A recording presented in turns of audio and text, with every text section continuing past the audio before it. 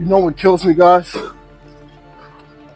Being average, being normal. I'm out here.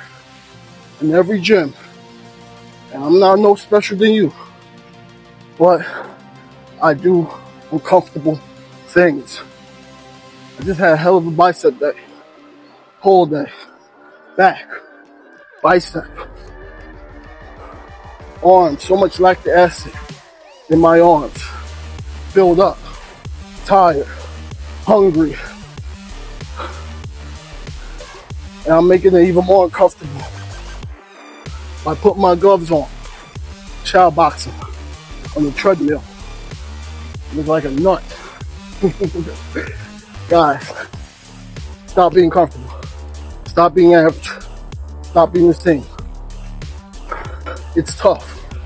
Being extraordinary is tough, but it's worth it. You play the game at hard difficulty, you get a higher score. Get that score. Stop selling less.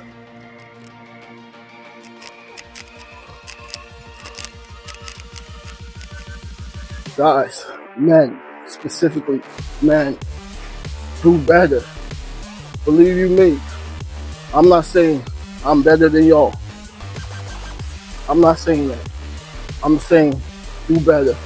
Always do better. I know it's a lot of pressure to be a man, but find it. Push yourself. I'm not doing this to show off.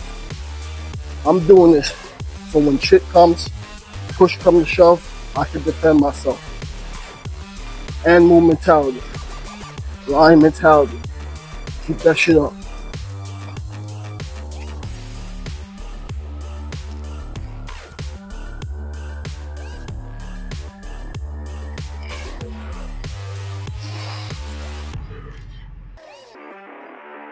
Push your limits. I bleed just like you guys bleed. I bleed red. Cut me, I bleed. I pull on my pants one leg at a time. Like you guys. Push yourself, guys. Push yourself. I'm no different. Only thing is, I do what's uncomfortable.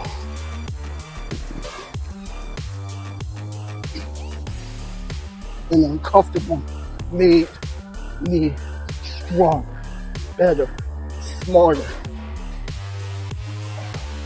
above average.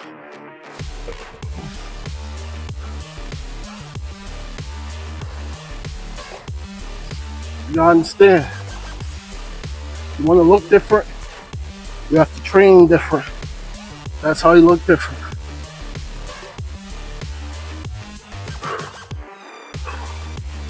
Be blessed to be alive. We have to be alive. A blessing, God, to be alive.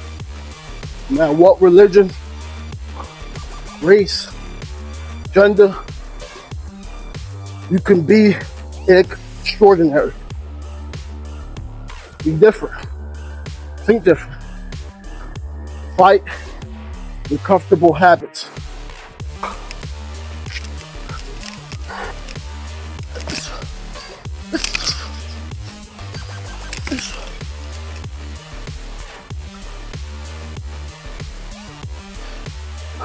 Be different. Push your limits. Stay hungry. Stay uncomfortable.